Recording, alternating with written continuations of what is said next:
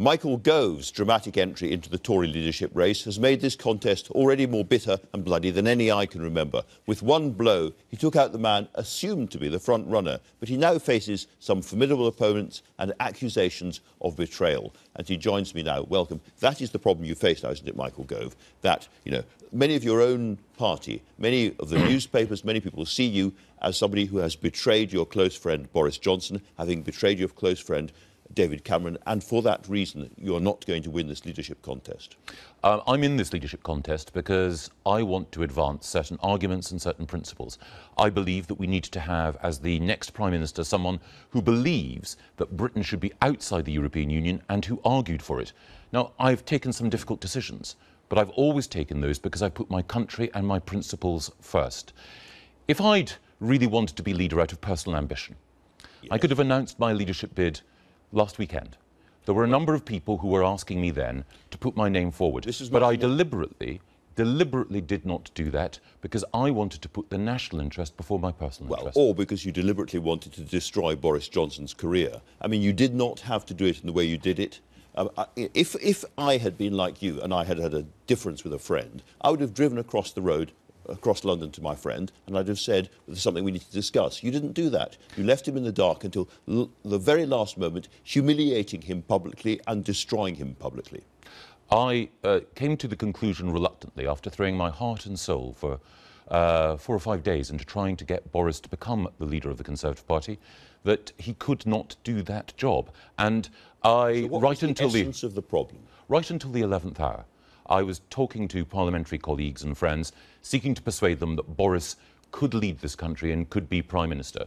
But in the final 24 hours, there were actions that were taken, decisions that were ducked, Sorry, that led me to which, believe... Which actions and which decisions? Because this really matters. It's been laid out in, in some clarity in the newspapers. Boris had the opportunity to build a team. Boris had the opportunity to lay out a particular vision in the last 24 hours, and I felt that he did not step up to that challenge. And there was a deadline. In different circumstances, we could have had a conversation, but the deadline was noon the next day. And I faced a basic choice. Could I recommend to, recommend to the country and to my colleagues that Boris was the right person to lead us as Prime Minister? I could not, in all conscience, do that. I knew that by taking that decision, all sorts of people would attack me personally. But I love my country. I could not recommend that Boris was Prime Minister. I had tried to make that work, and therefore it would have been a genuine betrayal of principle and of this country to have allowed so, Boris's so in, candidacy in, to go in, ahead with my support. So instead, you betrayed him by not going to see him and telling him what you were doing and letting him go out just hours before he was going to announce his leadership thing. And it all felt it was an it wasn't just a decision by you; it was an operation by then. The, the press were squared, middle class weren't prepared, but there was an operation going on at that point. No, I took that decision. Lots of people moved to your camp very, very quickly. Phone calls were made to journalists very, very quickly. Uh, at a point where Boris Johnson himself didn't know what was going on. I took the decision um, very late um, on Wednesday evening. Mm -hmm. um, I went to bed at 1.30 in the morning. I reflected on it. I woke up early in the morning and decided You that, could have um, called him at 7 a.m. and told I him. decided that I could not, in conscience, make that recommendation. I talked to um, my closest colleagues um, and then and my wife. And then I made that decision and I sought to ring Boris that morning I, wrote, I spoke to uh, one of his um, uh, colleagues and lieutenants and I explained my decision. But the clock was ticking and the decision had to be made before noon. Now, the question that I faced was a basic one. Of course, people were going to criticise me for yes. not following through. But ultimately, throughout my political life, I've asked myself one question. What is right for this country? And if there is a personal cost to me I will well, bear it. You're running for Prime Minister. There isn't a personal cost. I mean, you, have got what you wanted. Well, and your party are saying this is exactly like Ed Miliband stabbing David Miliband in the back. There'll be people who will say all sorts of things, but um, there's been, as you can see in the newspapers, personal criticism directed against me. There's one other thing. I withdrew my support for Boris. Boris could have chosen to go on if he wished to. The fact that he didn't, I think, is telling. And one of the things that I would say is that my judgment about what is right for this country will always guide me. And on that basis, I came, as I say, reluctantly and with a heavy heart, because I enjoyed working with Boris during the referendum campaign. I think he has great talents and great abilities. But you need something else to be Prime Minister. You need to have that grip, that executive authority, that sense of purpose, that clarity. I had hoped that Boris would show that, but in the end it wasn't there. But you don't have it either. You're not capable of being Prime Minister. Well, You've said so yourself, as you know. Um, during the course of the last six months, I've had to make some difficult decisions. I didn't want to be in this position, and if I'd wanted to be leader, if my sole ambition was place and position, if I just wanted the glory in the job, then I would have declared my candidacy last week when so many friends were urging me to do so. But I put my own personal ambition uh, to oh, one side and on. did what I thought was right for the country. And now I'm entering this race because I think the next leader of the country needs to be someone who believes heart and soul that Britain should be outside the European Union, who also has the executive experience of driving through reform, and also, as well as that executive experience, will be someone who everyone recognises is acting not from any personal motive well, of aggrandizement, hold on, hold on. but is acting from principle. You brought down David Cameron, then you brought down Boris Johnson. Some people are saying that you are a kind of political serial killer. Um, I didn't make the decision to call the referendum. That was David Cameron's decision. He chose the timing and he chose the basis.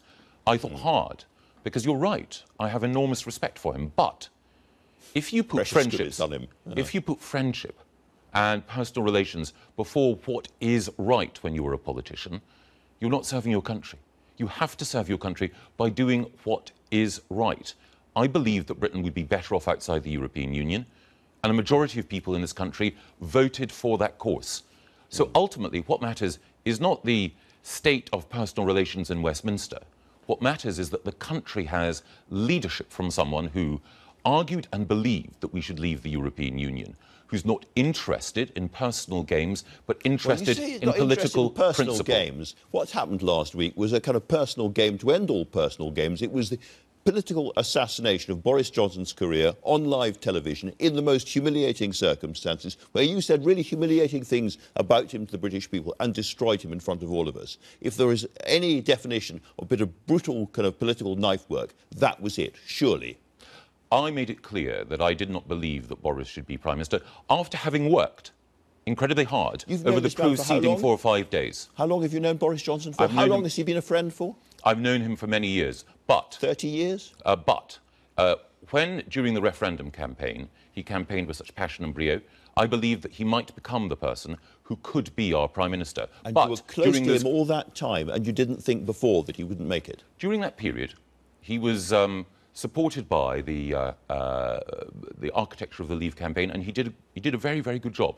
But critically, I wanted him to be Prime Minister, and I realised during those four days that um, he was not the man and this was not the time. You're a big Game of Thrones fan, I think, is that right? Um, I enjoy all sorts of television programmes, yes, including not, your not, own. We're not going to, thank you very much indeed. Um, House of Cards.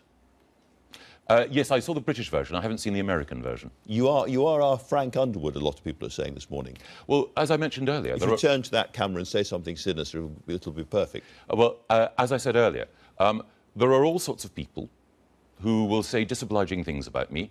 I don't mind that, because I would rather that people said, this is a man who sticks to his principles rather than this is a man who is worried about popularity and worried about um, uh, words that are uttered right. in newspapers or in television programmes. Or indeed in television programmes. Now, another close friend of yours for the time being is George Osborne. You spent the last weekend with him. I think you're going on holiday with him and so forth. He remains close. You spoke to him all the way through the campaign. Let me read you again what he said this week. Mm. I think we are in a prolonged period of economic adjustment for the UK. We are adjusting to life outside the EU, and it will not be as economically rosy as life inside the EU. It is very clear that the country is going to be poorer as a result of what's happening to the economy. And then he talked about spending cuts and fiscal tightening yes. and so forth. Do you agree with him? Let me put you right on one thing first. I don't actually agree with him on that, which is that I didn't spend last weekend with George Osborne. I spent last weekend trying to make sure that Boris Johnson could become leader of the Conservative Party and throwing myself heart and soul into it. Absolutely unsuccessfully. Boris mm. took the decision to withdraw. On the question of the economy, I outlined on Friday a plan for how we could take advantage of this new departure. The British people voted for change, not for business as usual. They want to ensure that we grasp the opportunities that leaving the European Union yeah. can give us. new opportunities to trade with countries like uh, Australia and New Zealand that have already been on the telephone demanding to get new arrangements here. But also, there's much more that we need to do to change the economy. Because the referendum revealed that even though our economy has been growing, not everyone has been benefiting from that economic Absolutely. growth. There are two Britons. There is a Britain that's done very well nicely out of uh, our current economic arrangements, but a Britain that has been left behind.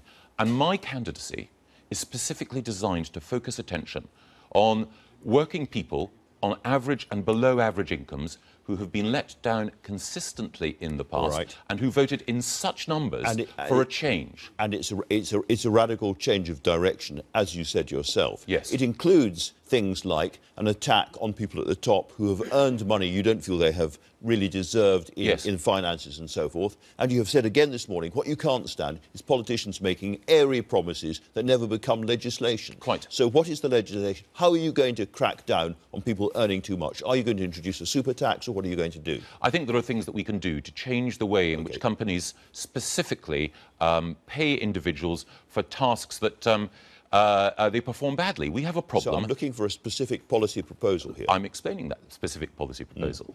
We have a problem at the moment whereby individuals, um, when they uh, run companies which they've never created, they're hired managers, um, pay themselves as though they were Steve Jobs when in fact they behave like David Brent. And then at the end of it, when they've failed, they get massive payoffs and gilt edged pensions. I'm going to look at the laws that govern how corporate pay is fixed and how corporate payoffs are delivered in order to ensure that we do not have a culture of payment for failure. I outlined before the general election that the Conservative Party needed to be warriors for the dispossessed. I explained after the general election that we need to tackle the scandal of the undeserving rich. Politicians on the right have you, been and you- complacent. and you are going to get those those numbers down. You're going to tax or otherwise remove bonuses and people from people at the top of the hill. Are you? I'm not going to use. Um, uh, uh, I'm Because going if to it's not just words, you have to have a Oh, of concrete course. proposal. Of course. Well, I launched my leadership bid on Friday, and I explained in some detail then some of the specific problems that we have in uh, income inequality in our society. I'm the uh, candidate for the leadership Okay. of this country who has spoken most about the scandal of inequality and who, in office, delivered plans in order to ensure Okay. that the poorest children and victims of the criminal justice system were at last supported in a way they hadn't been Okay, for, we- before. We, have done that, I think. If we go with you as a country, we're going to be taking a gamble, and we're going to be taking a gamble on your judgment. And I put it to you, your past judgment has not always been 2020 perfect. Here is you on the Northern Ireland peace hmm. process. The Belfast Agreement has at its heart, however, an even greater wickedness. It's a capitulation to violence, a validation of terrorism. The moral stain of such a process will prove hard to efface. It is a humiliation of our army, police, and parliament. But worse still, it is a denial of our national integrity. I put it to you that there are lots of people walking around today who, if that peace agreement had not been concluded, would be dead or maimed. And that that was a horrendous uh, error of judgment on your part. Um, I certainly am glad that we now have peace in Northern Ireland. But of course, looking back at the process of negotiation, I think it could have been handled in a different You way. You said wickedness, you said moral stain, you said this was absolutely wrong, and you were absolutely wrong, were you not? Uh, There was a problem with the Northern Ireland peace process, but one of the things I would say now is that um, uh, we now have peace in Northern Ireland. I'm delighted that we do, but there are things that we did during the negotiations um, in the way in which we handled the IRA that I would not have done. And there are people, naturally, who felt, um, as I did, discomfort, I'll put it no more highly, at the thought that people who've been involved wickedness and moral stain there is discomfort. There is, uh, there is certainly a moral question about whether or not someone who'd been engaged in terrorism should be in office, and I found that And si- uh, very okay. difficult And to take. uh, And one of the reasons, similarly, one of the reasons, um, since you've asked me, it's, Yeah. it's a serious matter. One of the reasons is that I have clear principles, and one of my principles is that I believe in the integrity of our United Kingdom. I don't like the idea that uh, uh, we should be um, uh, allowing our country to be influenced by a terrorist campaign. And I believe that in standing up for the unity of our kingdom and standing up against um, uh, violence and intimidation, I'm standing up for values which the majority of people in this Would you, country share. use, would you therefore use the British Parliament to forbid Nicola Sturgeon from holding a second independence referendum in Scotland? I don't believe that we'll need to go down that path. I believe, as I've explained to you before Right. here, Okay. that uh, there's no appetite for a second referendum in Scotland. Okay, and the other thing that um, seems to many people a bit of a policy misjudgment. You were a great, great supporter of the Iraq War, and you said even after it was all over, this was going to go down as one of the great British policy successes of modern times. After so many dead, do you still believe that? We're going to have the Chilcot ISIS, inquiry. ISIS out. Well, we're going to have the, the. Chilcot inquiry in two days or three days' time. Uh, there'll be an opportunity then to learn the lessons. But one of the things I think is right is that, um, of course, we need to be more modest when we're intervening abroad. Absolutely. But we also need to be resolute in the face of terror. And as the uh, only leadership candidate but- who's laid out a specific manifesto on how we deal with terrorism and how we deal with extremism, I believe that I've got the Which you must experience have had in your, and the back, in your inside pocket before this all happened. You must have been preparing this before it happened. No, I, I've written. Okay. I've, I've written. fi- final, qu- final question I asked Andrea Leadsom this, so I have to ask you this, the same question. Um, David Cameron has published his tax returns. Will you, before nominations close, publish your tax returns? Of course, yes. Marvellous. Michael Gove, thank you for that very crisp answer.